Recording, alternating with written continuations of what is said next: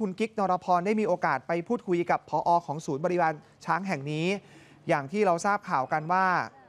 เสียช้างไป 2 เชือกด้วยกันคุณผู้ชม พังฟ้าใสอายุ 22 ปี 9 เดือน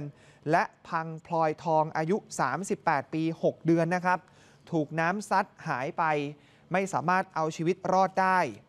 พออชื่อว่าคุณเล็กครับ เปิดใจทั้งน้ำตาบอกว่า หัวใจแหลกสลายครับ ทรัพย์สินที่เสียหายยังไม่เท่ากับชีวิตของช้าง แล้วก็บอกว่าเหตุการณ์ที่มันเกิดขึ้นเกินจะควบคุมจริง ๆ หลังจากฝังร่างของช้างทั้งสองเชือกแล้ว ก็ได้มีโอกาสพูดกับพังฟ้าใสและพังพลอยทองเป็นครั้งสุดท้ายว่า ลูกไม่ต้องเจ็บไม่ต้องปวดอีกแล้ว วันนี้พลอยทองได้มองเห็นแล้ว อยากให้ชาติหน้าทั้งคู่เกิดมาเป็นแม่ลูกกัน ส่วนจิตใจตอนนี้ยังคงย่ำแย่นะครับ หลังจากนี้ก็คงต้องเข้มแข็ง เพราะว่ายังมีอีกหลายพันชีวิตที่ต้องดูแลต่อครับ ไม่ได้กลับตาเมื่อไหร่นะน้ำมันน้ำมันถึงอยู่ในตาไม่เลยคือวันนั้นที่ไม่เล็กเข้าไปกับเรือน่ะไม่เล็กไม่ได้มีชูชีพเลยนะเพราะไม่เล็กว่ายน้ำไม่เป็นแล้วนั่งอยู่บนตอน่ะอยู่กับลูกเพื่อตะโกนให้ลูกฟังเสียงไม่ให้ลูกตื่นตระหนกว่าแม่อยู่ตรงนี้นะหนูไม่ต้องไปไหน แม่อยู่ตรงนี้วะว่ายมาหาแม่ แล้วแล้วเราอยู่กลางน้ำเนี่ยมันเป็นอยู่สภาพที่จิตใจเราแย่แย่มากเพราะเรารอทุกนาทีว่าเมื่อไหร่จะมีคนเข้ามาช่วยเรา คือคือทรัพย์สินเงินทองอย่างเงี้ยไม่ได้ไม่ได้สนใจนะครับเสียไปเถอะแต่จากชีวิตหนึ่งชีวิตสำเราก็มีค่าแล้วคุณเล็ก ใช้พื้นที่นี้ในการชี้แจงกระแสดราม่าที่ออกมาให้เห็นก่อนหน้านี้นะครับ เกี่ยวกับการจัดการช้างการเลี้ยงช้างแบบสุดโต่ง จนไม่สามารถควบคุมช้างได้ คุณเล็กอธิบายว่าสัตว์ส่วนใหญ่ที่ดูแลเป็นสัตว์พิการนะครับ การใช้ตะขอหรือว่าโซ่มาล่าม ยืนยันว่าจะไม่ทำเพราะว่าพวกเขาก็ทุกทรมานมาทั้งชีวิตแล้ว ส่วนพลอยทองที่เห็นบอกได้ยินแค่เสียง ก็จะเอางวงมากอดคนเลี้ยง แต่พอเกิดน้ำท่วมเนี่ยเขามองไม่เห็น เขามีความสับสน จนเขาปล่อยให้ตัวเองเนี่ยลอยไปกับน้ำก็หลังจากนี้เดี๋ยวจะแก้ไขด้วยการย้าย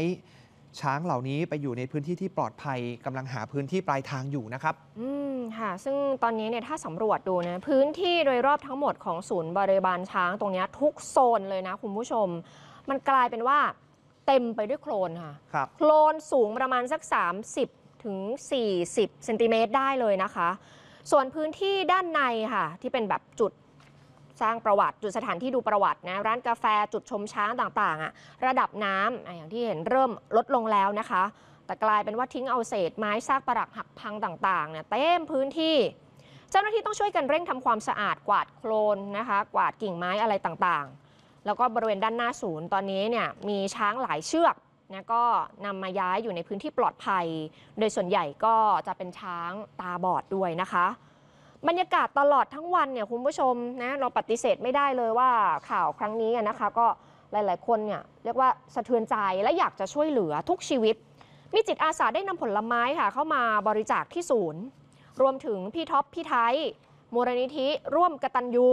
ก็ขนของมาบริจาคด้วยครับเห็นว่ามีรถ นะคะขนของแบบน้ำใจของคนใจบุญผู้บริจาคจากกรุงเทพอะค่ะ อืมไปทั้งหมด 6 คันรถพ่วงเลยนะคุณแชมป์ โอ้ยขอบคุณมาก ๆ เลยนะครับ มีผักผลไม้ของกินไม่ใช่ของช้างอย่างเดียว เพราะว่าเขามีหมาด้วยนะ ครับ อาหารหมาก็มีผ้าห่ม ผ้าขนหนู คือรวม ๆ แล้ว 6 คันรถพ่วงเนี่ยก็คือ 180 ตัน โอ้โหโอ้ยขอบคุณมากเลยนะ คนไทยเนี่ย ใจบุญนะค่ะช่วยกันในยามทุกข์ยากนะคุณผู้ชมครับ เช่นเดียวกับทางสำนักข่าววานิวของเรานะครับ เงินทุกบาททุกสตางค์ที่คุณผู้ชมโอนเข้ามาช่วยน้ำท่วม โครงการวันสร้างสุขของเรายังคงลงพื้นที่อย่างต่อเนื่องนะครับ วันนี้เราลงพื้นที่ไปที่อำเภอแม่สายจังหวัดเชียงรายครับคุณผู้ชมที่เห็นอยู่นั่นคือนักข่าวของเราน้องบอลแล้วก็พี่หนุ่มอนุวัฒน์นะครับ ผู้ประกาศข่าวสำนักข่าววันนิว เป็นตัวแทนโครงการวันสร้างสุขครับ ลงพื้นที่โรงเรียนชุมชนบ้านไม้ลุงขนที่อำเภอแม่สาย คือถ้าจำกันได้จุดนี้น้ำป่าทะลักท่วม